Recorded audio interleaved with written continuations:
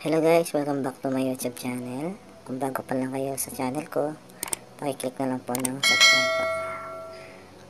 Ah, ngayon guys, magbibigay ako ng free checkout sa Shopee. Ah, 90 pesos, minimum 90 pesos plus free shipping na guys. So kung may gusto kayong bilhin sa Shopee, halagang 100, so 10 piso na lang po ang ibabayad nyo kapag dumating yung deliver nyo.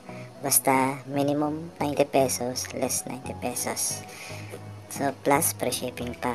Ngayon kung paano natin gawin, paano paano tayo mag-pre checkout. So mamaya explain ko. Uh, ipapanood ko muna sa inyo itong ginawa ko guys. Na legit siya na makapag uh, check out tayo ng less 90 pesos plus free shipping. So panoorin ito guys.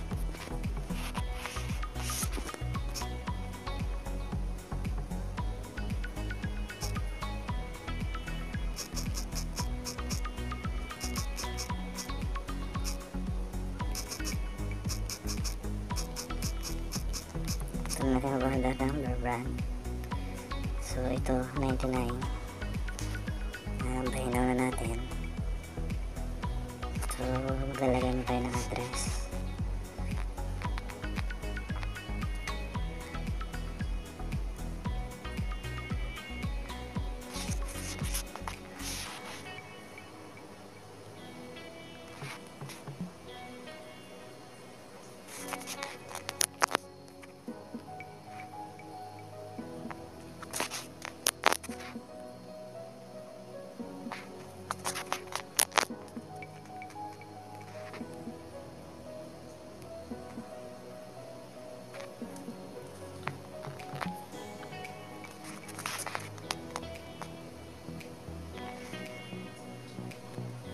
Ito guys, ito yung kanina nakita nyo. So yung price ng brand is 99.